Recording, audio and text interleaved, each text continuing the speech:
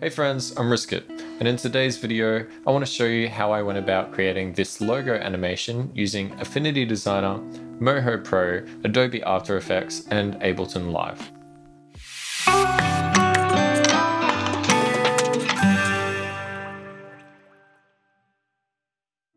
Now, first things first, I did not create the artwork for this video. It was created by Sarah Mertes. Sarah creates these beautiful illustrations by doing commissions for people all over the world, and this just so happens to be one of them.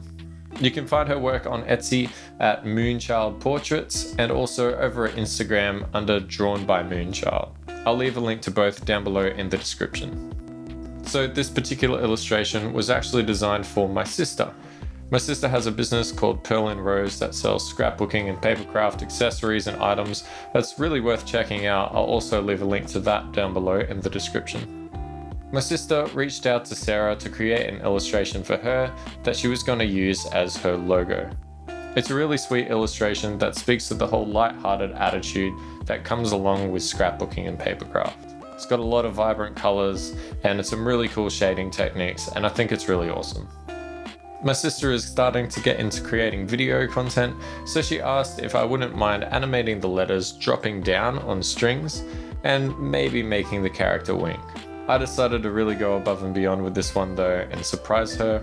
If you watch my recent video, I've just bought myself Moho Pro and I really wanted to see what I could do with it in bringing this whole thing to life. So I did make the letters drop down, I do make the character wink, and I make everything in that scene move, and I'm really, really happy with how it turned out. So in today's video, we're going to be taking a look at how I broke the illustration apart using Affinity Designer and filled in a lot of the missing elements, and then imported everything over to Moho and started rigging it up for character animation. Now, due to the amount of content there is to cover here, I've actually decided to split this video up into several parts. So this is going to be part one, and hopefully part two and part three will be out soon. Uh, in those other parts, I want to dive into more advanced topics like facial animation and rigging, as well as how I went about animating and bringing everything together in After Effects, sourcing the sound and samples that I was going to use for the sound effects and the music, and how I compiled all of that inside of Ableton Live. Also, a quick note, I'm really sorry if this video and the others aren't as refined as some videos I've done in the past. I had just shy of 40 hours worth of screen recording for this, and I've been trying to get into using DaVinci Resolve for a lot of my video editing lately just to sort of spice things up. And along the way, I ran into some processing power issues. Uh, turns out speeding things up to 9000% is uh, a little bit trickier to edit. I probably could have made some proxy files or something, but it doesn't matter. Um, it is what it is. You should still be able to see what's going on. But if you do have any questions or something isn't clear to you along the way, definitely leave me a comment down below and maybe I'll see if I can turn that into its own video tutorial at a later date. So that's enough chit chat. Let's dive in and get started on this. All right, so you can see that I've started here in Affinity Photo, and that's simply because I just selected Affinity Photo. Um, I was meant to select Affinity Designer, but fortunately you can open these files um, between either application. So I do jump back over to Affinity Designer eventually. I'm looking at the original artwork here and I realize that I have to pretty much separate every element if I want to make it move independently from the rest of the image. Now, I could have simply gone in and redrawn everything, um, like, you know, recreated it completely from scratch. But I didn't really want to do that. I wanted to leave intact as much of the original artist's artwork that I could, simply because I felt like this was their artwork. And my job here is to make that artwork move. So the less recreation that I had to do, the closer it would be to the original piece. So I decided to come in and use the masking tool to help separate a lot of these elements. And then later on, I'd be able to come back in and recreate certain parts that don't exactly exist yet. So here you can see I'm using the quick select tool just to mask out the arm and then using some other selection tools just to sort of clean up that selection a little bit better. And then I simply mask the layer and just refine the edge so that it's not too harsh of a cut. And then I just label that layout accordingly and move on to the next piece. So now I'm using the exact same process to mask out the rest of her body and using some of those other masking tools to help clean it up a little bit better. I mask it out and refine it, but here you can see that there are some parts of the body missing. Um, this is simply because there's been other objects in the way of the original illustration. Um, some things are sort of hidden behind other body parts. And this is where I realized that I had to come in and start recreating things. Now, I didn't really want to worry about the rest of the illustration at this stage. I kind of wanted to see just how far I could push myself to animate the main subject of the illustration, and then I was going to come back and animate everything else last. So I'm just quickly masking out her head here.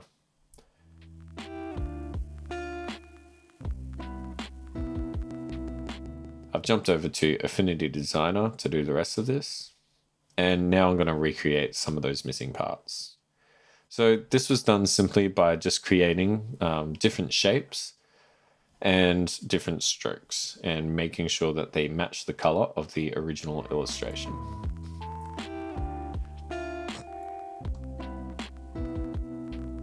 Now, the original artwork actually has a certain roughness to it, and I suspect that this is just due to the brushes that the original artist used I have a feeling that they made this artwork in Procreate, um, just based off some of their Instagram hashtags.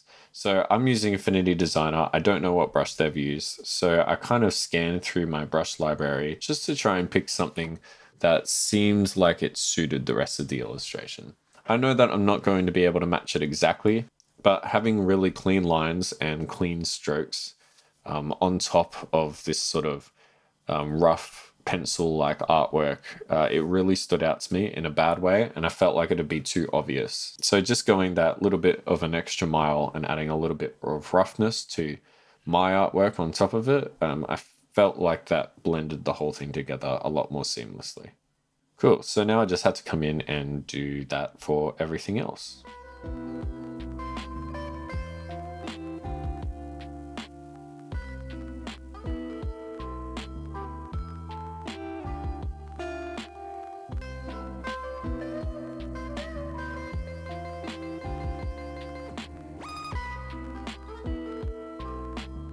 So it seems like the original artist kind of like to use three different shades of color to simulate lighting. So her shadows, midtones, and highlights all sort of live in between these outlined shapes that she's got going on. And I'm really glad that it was drawn like this because um, if there had been a different style of shading method, I think it would have been a lot more of a chore to try and match all of this up. But the fact that everything's pretty much got quite a hard edge and there's no real blending going on, that made it a lot easier for me to approach and try and match some of these colors.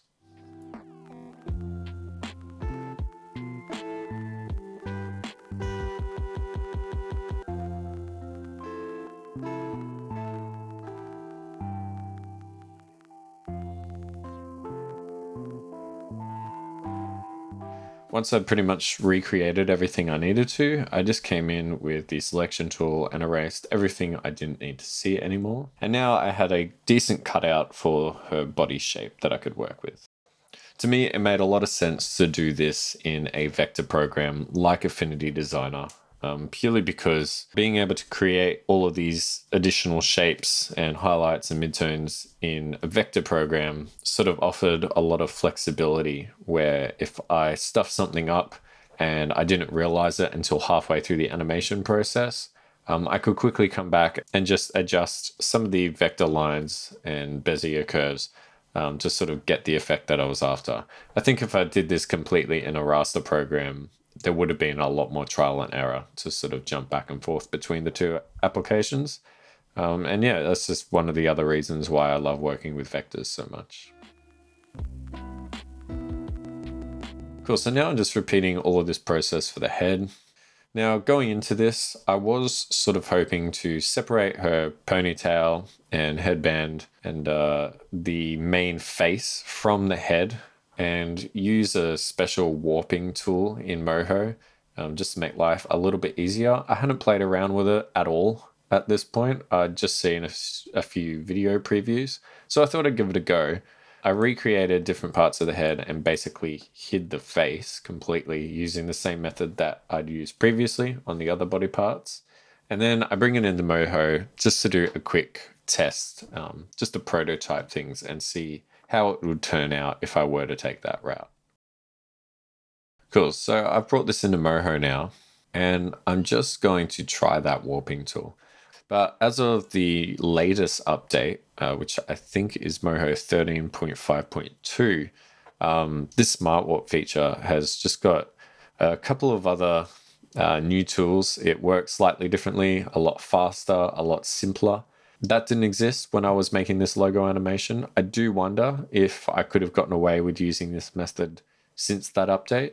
Um, but as of this version of Moho that I'm using here, I couldn't pull it off uh, it either uh, wasn't possible or more than likely it was just my lack of understanding of the tools and how they work. So, what you can see me doing here is basically making a very basic and crooked mesh on top of this head shape, setting up a smart bone, and making it so that every time I turn that bone from an upright position to facing left, the head would turn slightly. And I'm just pulling and pushing those points around to sort of simulate that the head is turning. Now, it does slightly work, but I think I was going to run into a lot more problems with actually rotating the face on top of this um, and everything else to go with it. So I abandoned this idea in the end and recreated the entire head from scratch in Moho. Now, that definitely seems like a lot more work, and it really was. But I'm glad that I did it that way because in the end, I'd basically create new vector shapes for every feature of the face. And animating those in Moho after creating them in Moho really simplifies the whole process and just makes it a whole lot easier to get animation looking good.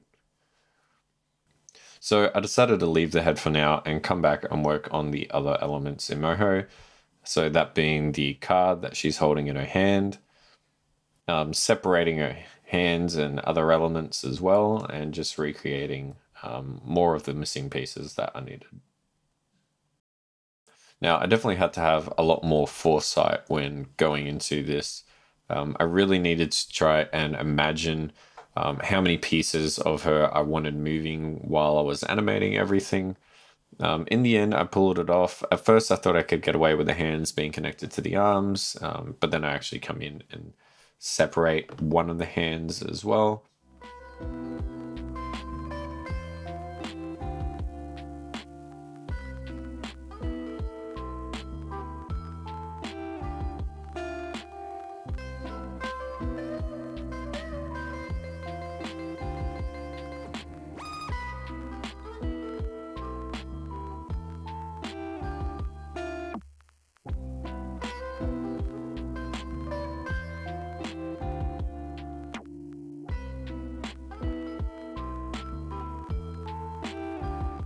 Just trying to figure out the order of different parts of the scissors to you know it it wasn't too difficult to get my head around it um, but there were definitely certain things i needed to keep in mind. For example her left arm which is the one holding the card is slightly hidden behind her chest and it wasn't until later on that i realized that i would actually have to come in and recreate uh, one side of the breast so that the arm could slide in and out behind it and sort of give that little bit of an illusion of depth. These are just some of the things that you need to keep in mind when you're breaking up an illustration um, and are planning on animating it later on. So now I've imported uh, a lot of those pieces and aligned them, and now I'm just setting up a basic bone rig. So we've got uh, her pelvis or complete control bone, lower spine, upper spine, and the neck. And then we go out from there and we add bones for the arms. Now, when doing this, we've got to play around with bone strength a little bit. You'll see as I'm moving things around here that parts of the body are warping when I move an arm and I want them to stay still. So, just playing around with the bone strength as I sort of move different parts um, sort of helped me identify what I could and couldn't get away with while doing this. Great. So that was looking good so far. Now moving on to the forearm and the hand. Um, they're a little bit disjointed, so to speak, but they're all still parented to each other. Um, so they do behave correctly. You can see as I'm moving her arm around here, everything sort of behaves in a relatively believable way. And then I just come in and do that for the other hand as well. Now I've just made a bone for the head and made sure that it's parented to the neck.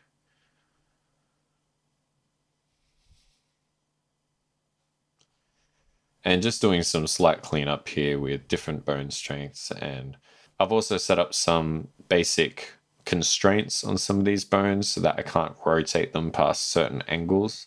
Um, this sort of limits the amount of control you have over the bone, but uh, it can be helpful to do that so that you don't accidentally push things too far while you're animating them. And at this point, um, everything was basically rigged. You can see a slight problem here when I move one of her arms that the elbow sort of um, becomes disjointed from the rest of the arm. And I do come in and fix that later up with an action. So at this point, I decided to do a little bit of a test animation just to sort of move the body around and see what it would look like uh, once she was moving. And this is what we wound up with. So at this point, I know that I want the circle that surrounds the image to sort of pop up. I don't want her to appear like she's sort of popping into the scene as well and sort of bouncing with everything else that's moving at the time. Um, so she's sort of flicking back here a little bit. And at, at the moment, I was really happy with this test animation. It was basically turning out how I had envisioned it. Um, there was just a lot more cleanup and work to go. So here you can see me coming in and setting up an action on this bone. So what is an action? An action is basically something you can set up that tells Moho when you bend a bone a certain way, this happens. Uh, kind of like, you know, a little bit of an animation if statement. So that's going to be it for this video today, folks. I really hope that you got something out of this. In the next video, I'm going to be redesigning the head completely within Moho and then rigging it up with some controls so that we can go about doing some facial animation. Remember to hit the like if you like, and if you don't, tell me why. Please subscribe, and feel free to leave any comments or questions you have down below in the comment section. Thanks for tuning in. I'll see you in the next one.